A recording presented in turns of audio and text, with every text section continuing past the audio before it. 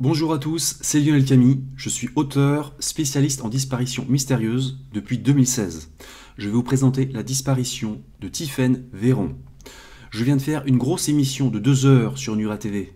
Pour préparer cette émission, j'ai passé de longues heures avec Damien Véron, le grand frère de Tiffaine, que je remercie d'ailleurs pour sa confiance.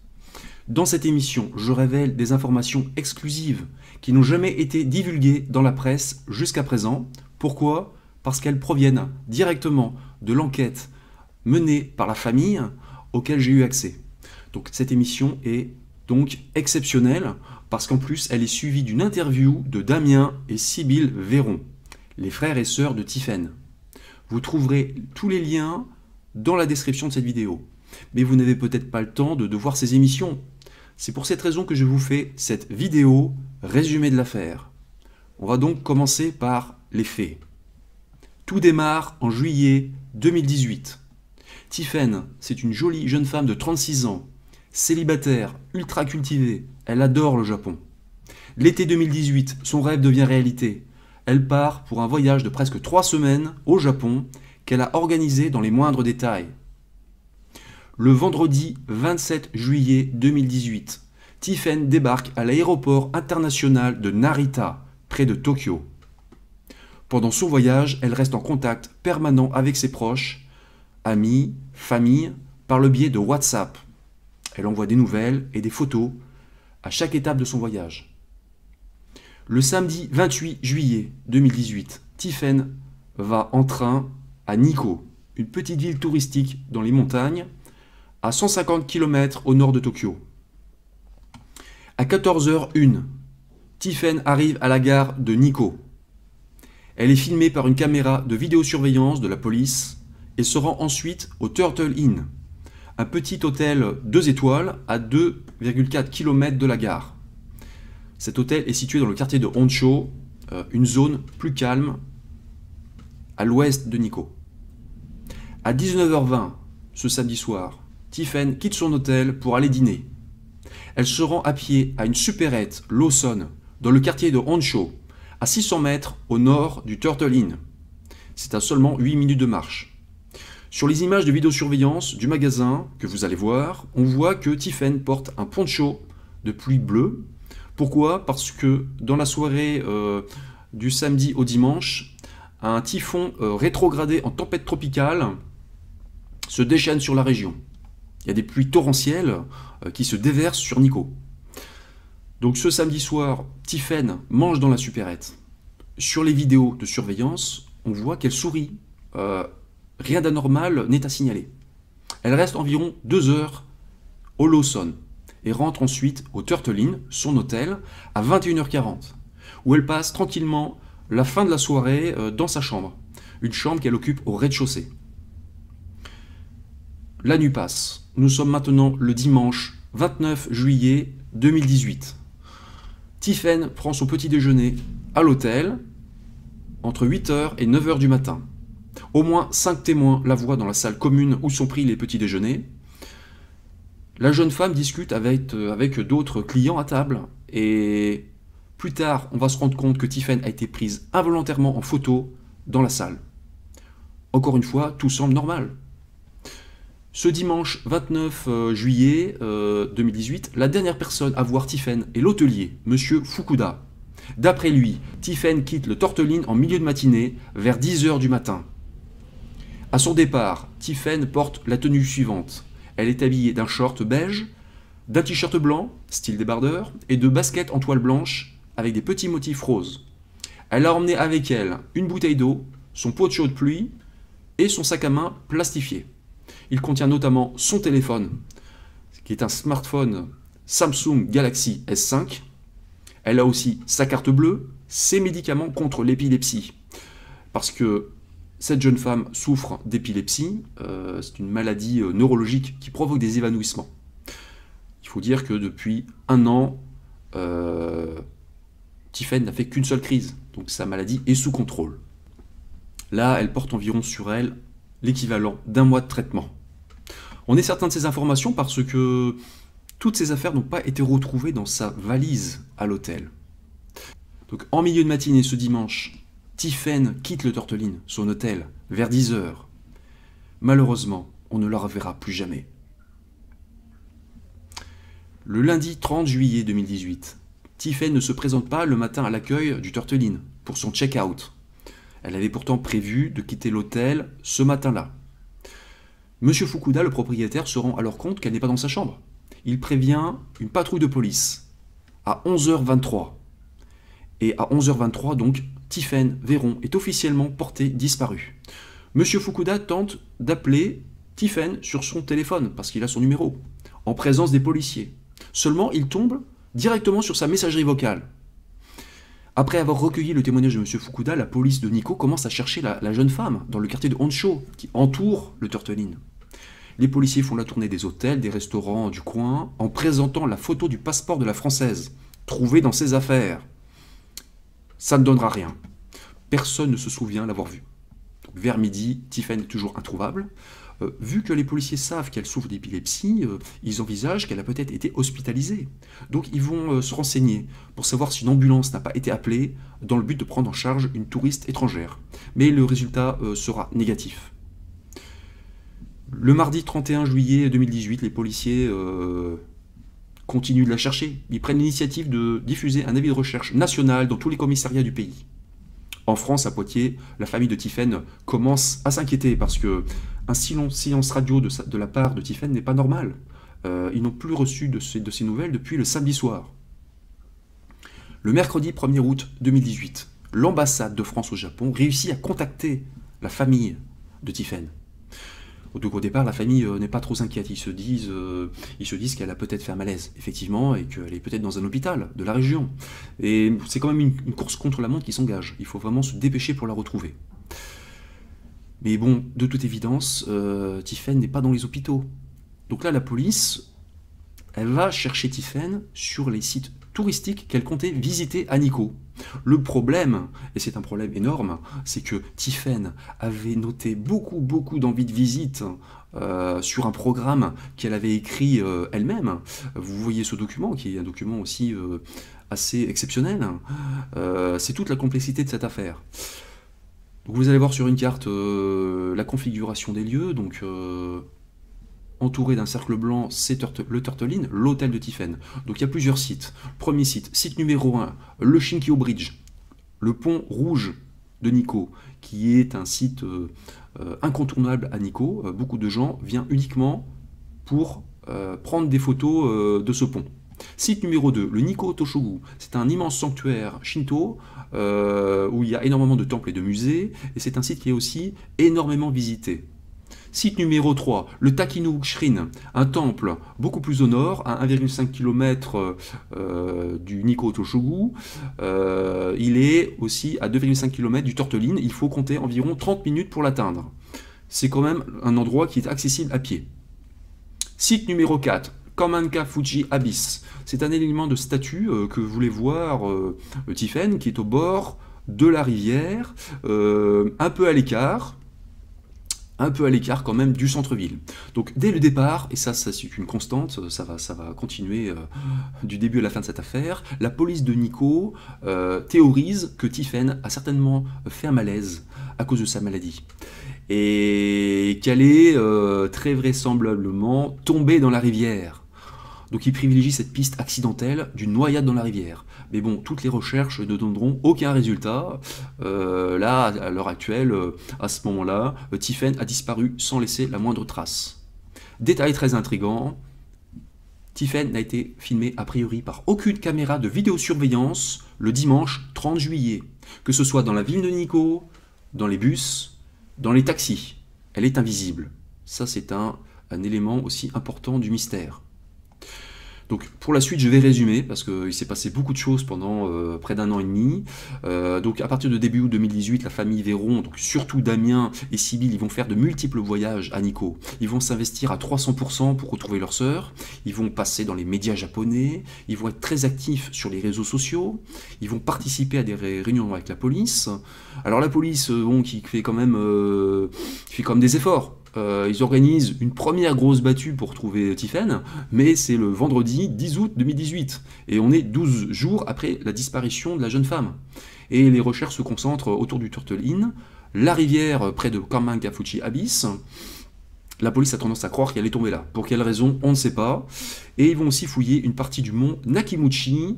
Euh, pourquoi? Parce qu'un alpiniste japonais aurait cru voir euh, peut-être Tiffen le dimanche, le dimanche de sa disparition à 14h30. Il aurait vu euh, une Européenne en train de descendre seule la montagne, mais les recherches ne donneront rien. Le témoin a sûrement fait erreur parce que euh, cette Européenne portait une robe et des sandales, donc sa tenue ne correspondait pas du tout à celle de Tiffen. À partir de ce moment-là, la police de Nico fait comprendre aux Vérons qu'ils bah, ne consacreront plus beaucoup autant de moyens euh, pour chercher euh, leur sœur. en fait, en gros, ils vont attendre que quelqu'un trouve quelque chose, un peu par hasard. Pour la famille, c'est juste inacceptable. Revenu en France, euh, la famille Véron rencontre les hommes de la police judiciaire de Poitiers. Euh, les policiers français veulent partir au Japon, ils veulent aider l'enquête. Mais euh, le problème, c'est que c'est compliqué. Il faut respecter le protocole, et puis il faut attendre le feu vert diplomatique. Comme ils ont le sentiment pénible qu'il n'y a pas vraiment d'enquête au Japon, et c'est pas totalement faux, la famille Véron va mener ses propres enquêtes. Et ils vont vérifier par exemple toutes les photos prises à Nico le jour de la disparition de Tiffen, le dimanche dimanche 29 euh, juillet 2018. Et il y a une photo postée sur Instagram qui va attirer particulièrement leur attention. Sur cette photo prise en forêt, on semble distinguer en arrière-plan une forme qui ressemble à Tiffen, camouflée par la verdure. C'en est même bluffant. Je vous fais des, zooms de cette photo. Euh, c'est vrai qu'on croit voir un poncho bleu, on croit voir un visage humain avec un grand front comme celui de Tiffen. Et là, euh, la, télévision japonaise TV Asahi va faire des, expertises de cette photo. Et on va se rendre compte qu'en réalité, la silhouette n'était pas la silhouette de, de Tiffen, c'était une voiture. C'était une illusion optique parfaite, ce qu'on appelle une pareidolie. Et malheureusement, c'était une fausse piste. Donc là, la famille, euh, comme je vous explique, va tout tenter. Hein. Ils, vont, ils vont même. Euh, Véron va même interpeller Emmanuel Macron, le président de la République, euh, dans la cour de l'Élysée. Mi-octobre, il va avoir, grâce à ça notamment, une deuxième battue d'envergure qui va être lancée par la police de Nico, mais ça sera trois mois après la disparition de Tiffen. De nouvelles fouilles vont être effectuées, mais même si les policiers et les pompiers sont de bonne volonté, euh, ce ne sont pas des hommes de terrain, euh, ils n'ont pas d'expérience en matière de search and rescue. Ils attendent qu'on leur dise où chercher, c'est quand même un comble. Et voilà, une fois de plus, ça ne donnera rien. On ne trouve rien, aucun indice, aucun objet appartenant à Tiffen. Et encore moins, malheureusement, euh, de dépouilles. Donc dans les mois qui suivent, bah, la, famille Véron va financer elle-même des recherches sur le terrain. Ils vont aussi recruter euh, une équipe canine, euh, des chiens euh, spécialisés dans la recherche de cadavres. Mais encore une fois, bah, les chiens ne trouveront rien. voilà, donc depuis le premier jour, les proches de Tiffen s'acharnent pour trouver, pour trouver leur sœur, pour connaître la vérité. Ils ont dépensé beaucoup d'argent, beaucoup d'énergie. ils ont par chance bénéficié d'un grand élan de solidarité. En France, au Japon, ils ont beaucoup de soutien mais bon, malheureusement, ils n'ont toujours aucune réponse à leurs questions. Euh, qu'est-il arrivé à Tiffen euh, Pourrait-elle encore être vivante aujourd'hui? Et si elle avait fait l'objet d'un enlèvement? Euh, On va voir que cette thèse ne doit pas être sous-estimée. toutes ces questions hantent toujours les proches de Tiffen à l'heure actuelle. Voilà, voilà où on en est à l'heure actuelle. C'est la présentation des faits. On va maintenant passer à la partie commentaires et analyse. Le dossier de la disparition de Tiffen Véron est extrêmement complexe. Il est indispensable de faire quelques remarques sur son contexte très spécial. Dans le cas de Tiffen, euh, la recherche de la, de la vérité euh, se heurte à beaucoup d'obstacles, euh, certains insoupçonnés. On va tous les passer en revue. Il y a déjà un nombre d'obstacles liés au Japon en général. Il y a la distance géographique déjà. Le Japon, c'est loin de la France, c'est à l'autre bout du monde, à 10 000 km. il y a le fossé culturel. Euh, les mentalités, les pratiques nippones sont différentes euh, des nôtres. Euh, par exemple, au Japon, les disparitions sont considérées comme normales.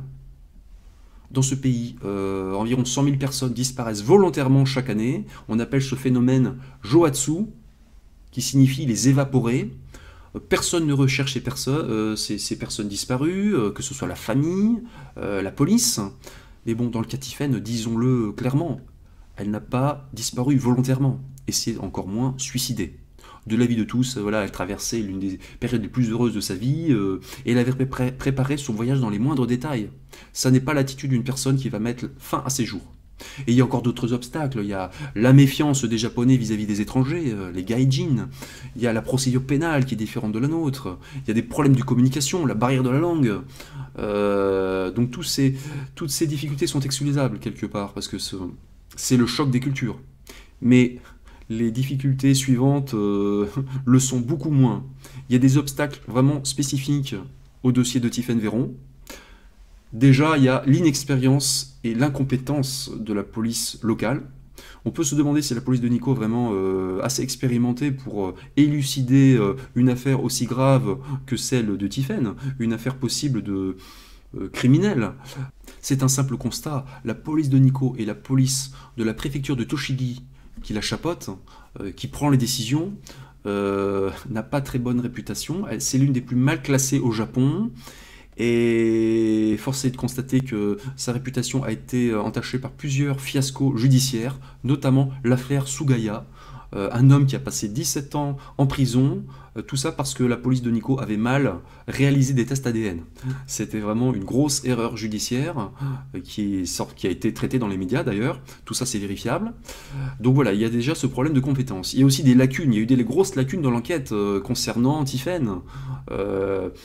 C'est vrai, la police locale a fait plus d'efforts euh, pour euh, Tiffen, qui était une touriste française, que pour euh, une citoyenne japonaise, par exemple.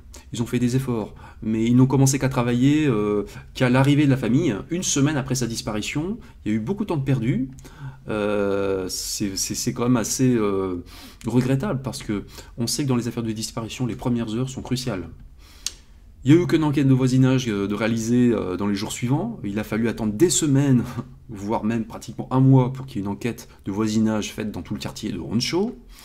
Autant dire qu'on a perdu euh, des témoignages potentiellement capitaux, hein, euh, d'autres touristes qui sont repartis dans leur pays. Euh, et ça n'est pas terminé.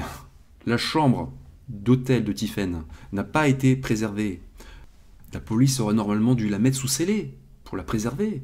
Mais là, la chambre a été nettoyée et relouée quelques jours seulement après sa disparition par le propriétaire de l'hôtel.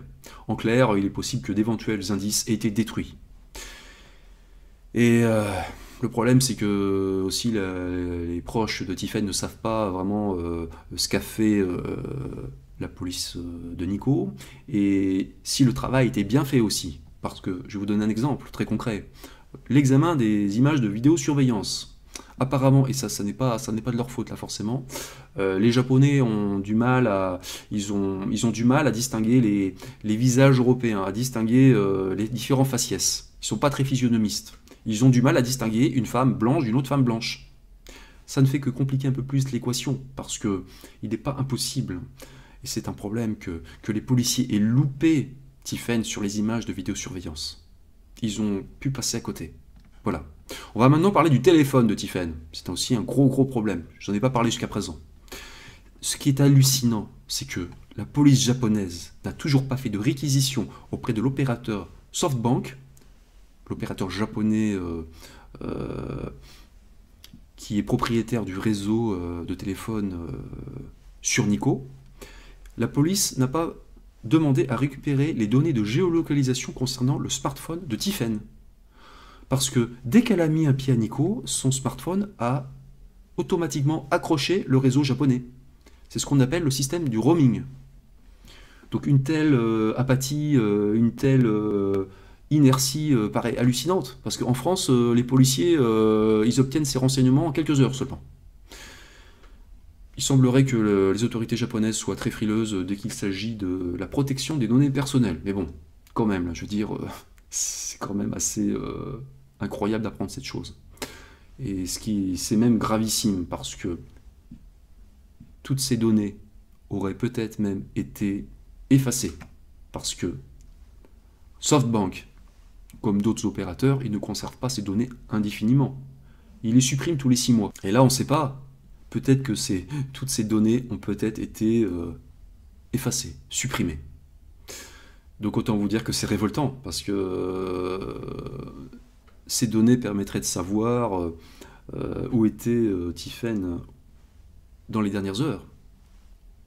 ces, infos permettraient de connaître sa dernière localisation connue. On pourrait savoir où son téléphone a borné pour la dernière fois, où il a activé pour la dernière fois une antenne relais. Ça permettrait d'orienter les recherches sur le terrain. Parce que là, autant vous dire qu'on cherche une aiguille dans une botte de foin. C'est une recherche à 360 degrés. Voilà. Donc la, police euh, de Nico euh, n'a pas fait euh, la demande. la famille de Tiffen a fait sa propre enquête. Elle a réussi à obtenir des informations auprès de Google. Ils ont réussi à contacter des responsables de Google USA. Ils ont obtenu une, information qui est vraiment cruciale. Ils ont obtenu l'information selon laquelle Tiffen se serait connecté pour la dernière fois à Internet le dimanche 29 juillet 2018 à 11h40 avec le Wi-Fi de son hôtel du Turtlein et qu'elle ne s'est plus jamais connectée par la suite Internet euh, d'une manière que ce soit, par Wi-Fi 3G. La famille a aussi fait des vérifications auprès de Free. Pourquoi? Parce que Free, c'était l'opérateur téléphonique de Tiffen en France. Et selon, selon Free, le smartphone de Tiffen n'était plus en état de fonctionner le lundi 30 juillet 2018. Il aurait pu être arrêté de manière irrégulière. La raison exacte de cet arrêt euh, reste inconnue. L'appareil euh, aurait pu être cassé euh, sans batterie, ça veut dire qu'il aurait pu être retiré. Là, c'est un peu inquiétant quand même, à moins que Tiffen se trouvait dans une zone blanche, c'est-à-dire qu'il n'était pas couverte par du réseau. Enfin, la batterie de son téléphone était peut-être aussi tout simplement déchargée. Bref, c'est vraiment le noir le plus complet. On ne sait pas vraiment ce qui est arrivé à ce téléphone. On va maintenant revenir au jour de la disparition. À quel moment exact a disparu Tiffen bah, Là encore, c'est l'inconnu le plus complet. Tout ce qu'on sait, c'est qu'elle s'est connectée pour la dernière fois Internet à 11h40 euh, à l'hôtel. Après, plus rien. Euh, elle a donc pu disparaître dès 11h40. Et cet horaire euh, me surprend d'ailleurs, parce que que faisait encore Tiffen à son hôtel à 11h40 Alors qu'elle avait un planning de visite très chargé pour la journée? Elle était en retard sur son programme en fait, parce que elle voulait visiter des choses dès le samedi, mais elle est arrivée trop tard. Elle, a sous-estimé le temps de trajet depuis Tokyo. Donc elle avait beaucoup de choses à voir. Le dimanche, qu'est-ce qu'elle faisait encore en fin de matinée à l'hôtel? Autre question sans réponse, où est parti Tiffen le dimanche matin? Euh, On n'en sait rien. On n'en sait rien parce qu'elle voulait voir beaucoup d'endroits. Et elle n'a été vue nulle part au fond. Et c'est d'ailleurs un mystère. Comment se fait-il qu'elle n'a été filmée par aucune caméra de vidéosurveillance le jour de sa disparition Maintenant, on va voir les deux grandes pistes. Il faut être objectif. Même si la maladie de, de était sous contrôle, elle avait fait qu'une seule crise en un an, elle n'était pas à l'abri de faire une crise. Mais bon, dans ce cas-là, euh, si elle avait perdu connaissance, si elle, était tombée par terre, euh, quelqu'un euh, aurait obligatoirement trouvé son corps, dans un délai plus ou moins court. Là, depuis un an et demi, on n'a rien trouvé. On va parler de la théorie de la, chute dans la rivière. C'est la théorie qu'affectionne la police de Nico depuis le début. Elle a théorisé que, que Tiffen serait tombé dans la Daya River, donc la rivière qui traverse la ville de Nico. Et selon la police, si on n'a pas trouvé son corps, c'est la faute à la tempête tropicale euh, qui a frappé la région la veille de sa disparition. C'est vrai que cette hypothèse paraît séduisante comme ça de loin, hein. mais ça tient pas du tout la route quand on, analyse les faits en détail, parce que d'abord, comment euh, serait tombé à l'eau? À Nico, euh, les bords de la rivière, les ponts sont sécurisés par des barrières, et Damien Véron, le frère de Tiffen, m'a confié que Tiffen était trouillarde, elle avait peur de l'eau. Donc euh, elle se serait méfiée, elle se serait pas approchée. Pour ce qui est de la rivière, c'est vrai que le niveau de l'eau avait triplé durant la nuit. Entre 20h et 4h du matin, euh, il y a eu beaucoup d'eau à tomber, près de 500 millilitres, selon le service météo. Et le, niveau de la rivière a triplé. Mais le dimanche matin, selon les habitants questionnés par Damien, le niveau de l'eau était revenu à la normale. En clair, la rivière n'était pas plus dangereuse que d'habitude. Même s'il y avait plus de courant. Voilà. La police a indiqué que Tiffen aurait pu tomber à Komankafuchi Abyss, donc à 750 mètres à l'ouest de du Turtelin. Mais là encore, euh, c'est très peu vraisemblable parce que, sachant que la Daya River, vous voyez ça sur les cartes, hein, que la Daya River coule de l'ouest vers l'est, si Tiffen est tombée à cet endroit, elle a obligatoirement été emportée vers le centre-ville. Elle est obligatoirement passée sous le, le pont Shinkyo, le fameux pont rouge dont je vous ai parlé, qui est en aval. Et ce pont est équipé d'une caméra sous le pont qui filme l'eau. Or, cette caméra n'a filmé aucun corps dévalant l'eau de la rivière ce dimanche, ni les jours suivants. Il faut savoir aussi autre chose, c'est que ce pont, c'est l'attraction numéro 1 à Nico. Il y a énormément de gens qui se concentrent sur ce pont. Et donc si Tiffen était tombée, elle portait en plus euh, un t-shirt blanc, euh, peut-être même son poncho bleu, elle serait potentiellement passée sous euh, le regard de centaines de témoins. Personne n'a rien vu. Et le plus gros argument qui invalide cette théorie, c'est qu'on n'a on n'a rien trouvé dans la rivière, tout simplement. depuis un an et demi, on n'a pas trouvé d'objet, on n'a pas trouvé euh, son de vêtements, on n'a pas trouvé son sac, on n'a pas trouvé son téléphone, on n'a pas encore moins trouvé sa dépouille. Et ça n'a pas de sens parce que euh, quand on voit euh, les lieux, il y a des mini-barrages qui sont construits le long de la Daya River, qui cassent le courant, tous les 250 mètres. Et à ces endroits, en fait, Damien m'expliquait que les objets, les objets sont colportés de chaque côté de la rivière. Et donc, quand, on, quand on connaît le nombre de mini-barrages. J'ai compté, il y en a 56 entre l'hôtel et la Kinu River. C'est-à-dire la Kinu River, c'est la rivière dans laquelle se jette la Daya River.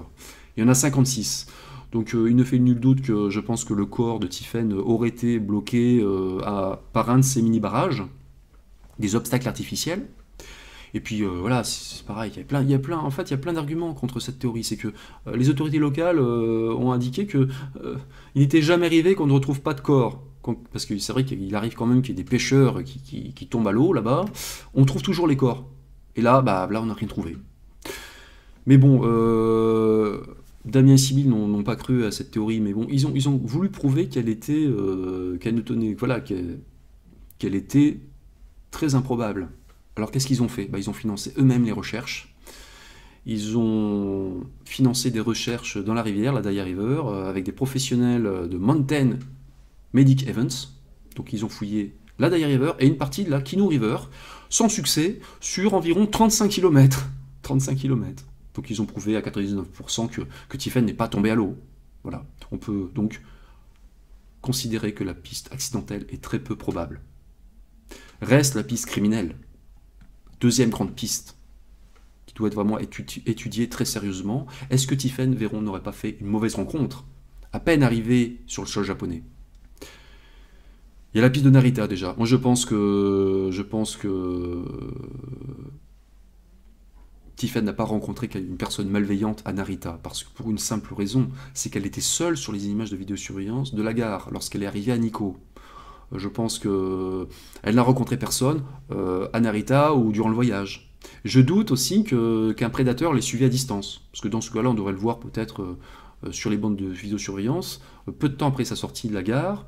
Et ça voudrait aussi dire que le, le, maniaque, le, psychopathe, il aurait peut-être attendu le lendemain pour frapper. Donc et ça voudrait dire qu'il aurait loué une chambre d'hôtel, il aurait dépensé de l'argent. Euh, j'ai quand même du mal à y croire. Bon, pourquoi pas hein, Il y a des psychopathes qui se sont organisés. Mais bon, il aurait quand même réussi aussi à commettre un crime parfait, sans être vu par aucun témoin. Euh, il aurait réussi à cacher son corps, euh, quelque part autour de Nico. C'était quand même compliqué à réaliser, sachant qu'il, surtout s'il n'avait aucun moyen logistique sur place. Moi, je pense que si Tiffen a fait l'objet d'un crime, son agresseur habitait très certainement Nico ou dans ses environs. Voilà. On va parler maintenant de la piste locale, celle que j'affectionne. Donc, selon la police de Nico, la, ville de Nico, c'est un paradis pour les touristes. Il ne se passe jamais rien, d'après ce qu'a dit un des inspecteurs. Mais bon, euh, Damien et Sibyl, ils ont quand même découvert euh, qu'il y a quelques années, un faux guide euh, agressé sexuellement des jeunes touristes étrangères près du Takinu Shrine. Un temple d'ailleurs que Tiffen avait noté sur ses envies de visite. Le temple qui est le plus au nord, que vous avez vu sur la carte. Donc euh, ce faux guide était assez connu à Nico et euh, les autorités ont même mis des pancartes d'avertissement sur les lieux. Mais bon, je ne crois pas, euh, ni Damien d'ailleurs, que, que, que Tiffen était attaqué par ce faux guide. Parce que elle était obligée, en fait, pour accéder à ce temple, elle était obligée de passer par l'enceinte du sanctuaire Nico Toshogu, Et là, elle n'a été vue par aucune caméra. Et puis surtout, elle avait beaucoup d'autres euh, sites à voir avant, et on l'a vue nulle part. Quoi qu'il en soit, il faut espérer que la police de Nico ait vérifié la Libye de ce faux guide savoir ce qu'il faisait le jour de la disparition de la française, ainsi que, que l'alibi euh, de tous les délinquants sexuels de la région. On ne sait pas ce qu'ils ont fait. Ils l'ont probablement fait, mais euh, la famille n'a pas eu euh, d'informations fiables à ce sujet. Voilà. Moi, je pense qu'il est tout à fait possible que Tiffen ait été enlevé, parce que même si Nico est une ville assez paisible, le risque zéro n'existe pas. il suffit que vous trouviez au mauvais endroit au mauvais moment. Donc ce dimanche, peut-être que Tiffen euh, a pu être repéré peu après 11h40, près de son hôtel, au moment où elle sortait de son hôtel. Voilà, je sais pas. Euh, c'est vrai qu'une touriste étrangère seule à pied, euh, elle était repérable. ça pouvait être, elle pouvait être considérée comme une proie facile même. Hein. Elle a peut-être été abordée par un, par un gars, un inconnu, qui lui a proposé ses services de guide, ou l'a déposé en voiture, gratuitement. Euh, il aurait pu lui dire Ah, ben là, j'adore la France, par exemple. Je pense que Tiffen aurait accepté, euh, et d'ailleurs ses proches, c'est pareil, auraient accepté sans hésiter, parce qu'elle n'était pas méfiante. Et puis, euh, c'est vrai que le Japon est considéré comme l'un des pays les plus sûrs au monde. Elle adorait ce pays, elle était dans un état d'euphorie, elle venait juste d'arriver, elle était vraiment folle de joie d'être là. Et il y a aussi un facteur à prendre en compte, c'est que au Japon, c'est très mal vu de refuser et respecter les coutumes. Voilà, comme elle était bien éduquée, je pense aussi qu'elle aurait suivi euh, peut-être un étranger, enfin quelqu'un, euh, sans sourciller, elle serait montée à bord de sa voiture. Mais le problème, c'est qu'à l'instant même où elle serait montée à bord de ce véhicule, euh, le piège se serait refermé sur elle. c'est possible. Hein. La scène a pu ne pas être filmée par des caméras parce qu'il y a très peu de caméras autour du Turtle Inn. Le quartier est peu surveillé. Euh, par la suite, bah voilà, il est possible que ce prédateur ait conduit euh, dans un lieu euh, secret.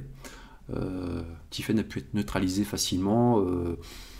on a pu lui offrir un thé, par exemple, un thé contenant un somnifère. Voilà. Par la suite, son agresseur s'est empressé de détruire son téléphone, le mettre hors service. C'est pour cette raison que Free a indiqué que son téléphone avait été arrêté de manière irrégulière, par exemple. C'est possible. Et en tout cas, ce qui se pourrait bien que quand même que Tiffen soit toujours vivante à l'heure actuelle, peut-être séquestrée euh, dans, la cave d'une maison, euh, dans la région de Nikko, et peut-être même à Nikko, euh, selon un spécialiste japonais, Tai Ogawa, qui est consultant à la télévision japonaise, c'est un ancien inspecteur criminel japonais, pour lui, il est possible que Tiffen n'ait pas été tué c'est horrible à dire, mais bon, elle pourrait euh, avoir même été conservée, peut-être comme trophée, je sais pas moi. C'est vrai qu'une belle française, euh, comme ça, euh, peut-être qu'elle a pu être gardée vivante. En ce qui concerne son état de santé, le neurologue de Tiffen a indiqué qu'elle pouvait survivre sans ses médicaments. Elle avait un, un, mois de traitement sur elle, mais bon, elle pouvait survivre sans ses médicaments. Dans quel état, par contre, ça, en ce qui concerne le profil euh, de l'agresseur, moi j'ai tendance à penser que ça pourrait être un peu un loup solitaire, euh, voilà, qui enlève une européenne pour son seul plaisir. Mais on ne peut pas éliminer complètement l'hypothèse que Tiffen ait peut-être été enlevée par un réseau euh, de prostitution forcée, malheureusement. Elle aurait peut-être été kidnappée pour devenir une travailleuse du sexe. On sait que ce phénomène existe à l'échelle mondiale, notamment en Asie. Voilà. Dernière piste, et cette piste aussi n'est pas à négliger, euh, je l'ai soulevé euh, longuement dans l'émission euh, sur Nure TV. Vu que Tiffen s'est volatilisée très très vite, sans témoin, qu'elle n'a été filmée par aucune caméra de vidéosurveillance, le dimanche de sa disparition, il faut se poser la question, et si elle n'était jamais sortie du Turtle Inn? Monsieur Fukuda, le propriétaire, a déclaré que Tiffen serait parti de l'hôtel à 10h.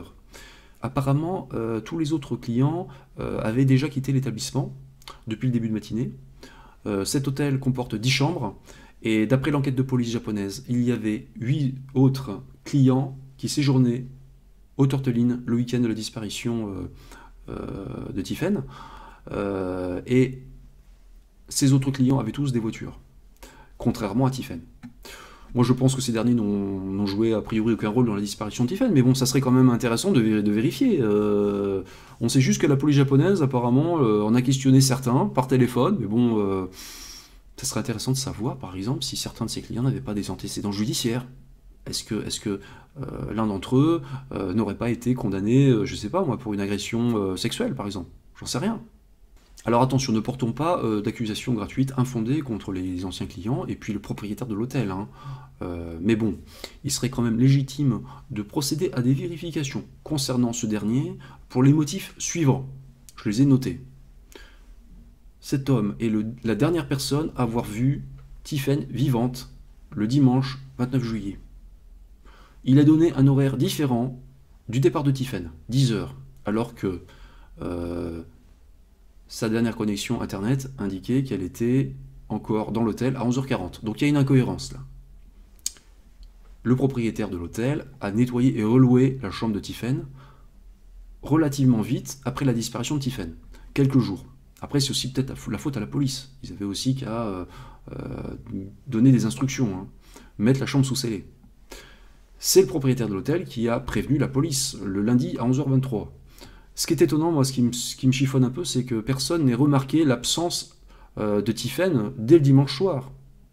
Alors, je sais pas, la peut-être sa clé, mais bon, euh, les gérants d'hôtel euh, n'espionnent pas leurs clients, mais bon, ils auraient peut-être pu remarquer quand même que, que Tiffen n'était pas là. et puis bon, il y a aussi l'élément, un élément qui est, intéressant, enfin que j'ai noté aussi, c'est que la police de Nico a fouillé le jardin du Turteline le lundi 13 août 2018. Qu'est-ce qu'ils cherchaient exactement? Ça, personne n'est en mesure de répondre. Donc moi, encore une fois, je tiens très clair, je n'ai rien contre M. Fukuda, hein, euh, il est sans doute innocent, mais je ne vous cache pas que ces éléments euh, sont quand même euh, trop perturbants, quoi, dire. il faut toutefois lever le doute et l'écarter définitivement de la liste des suspects. Donc si la police japonaise a fait son travail, ils ont vérifié cette piste.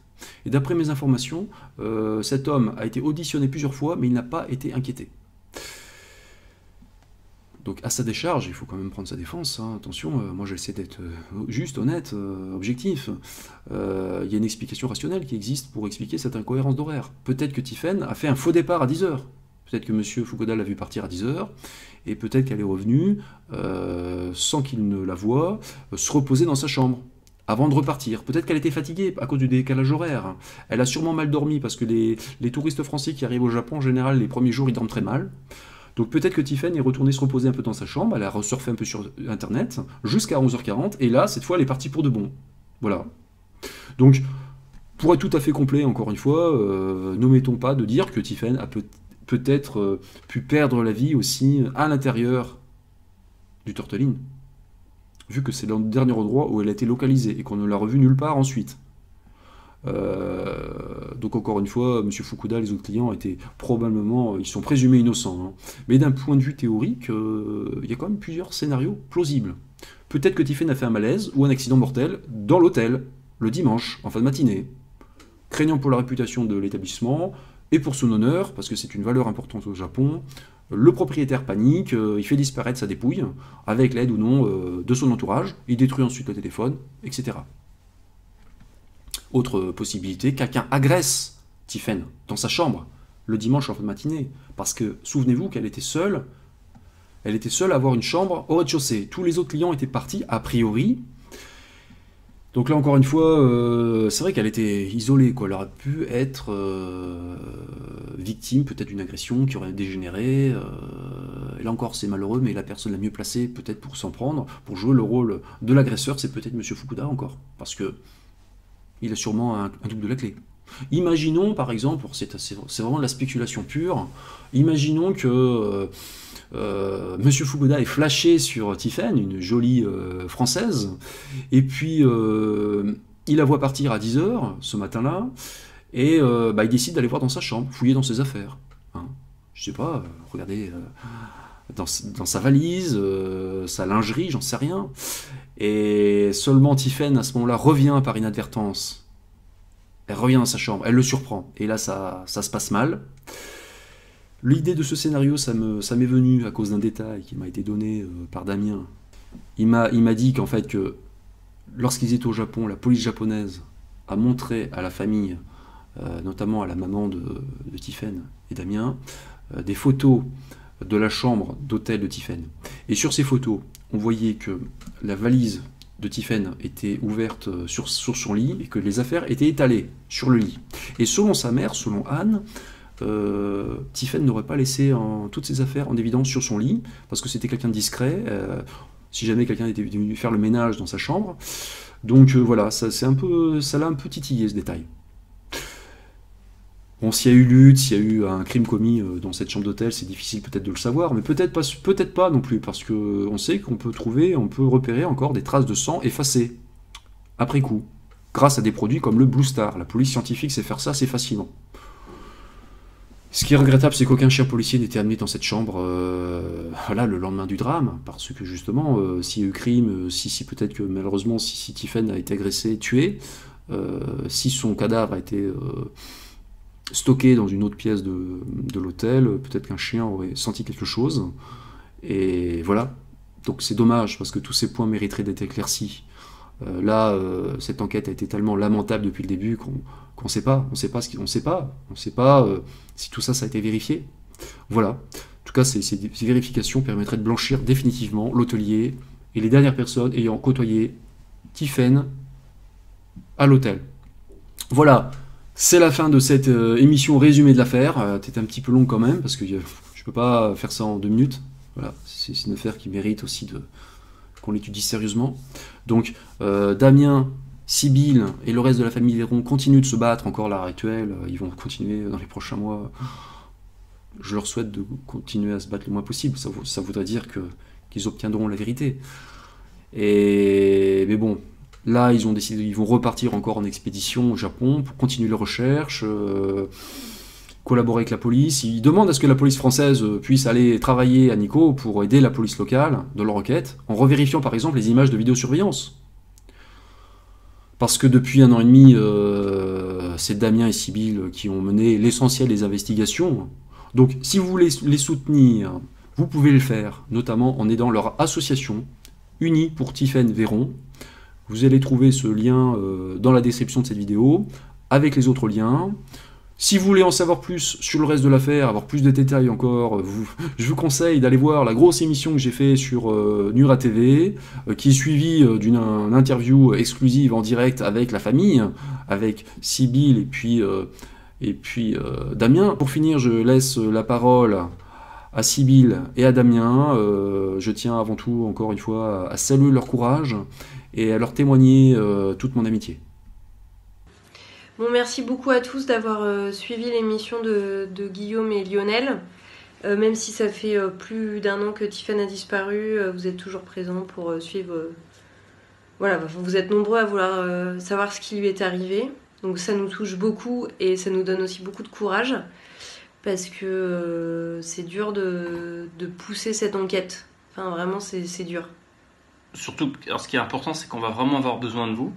Euh, puisque Nico est assez touristique.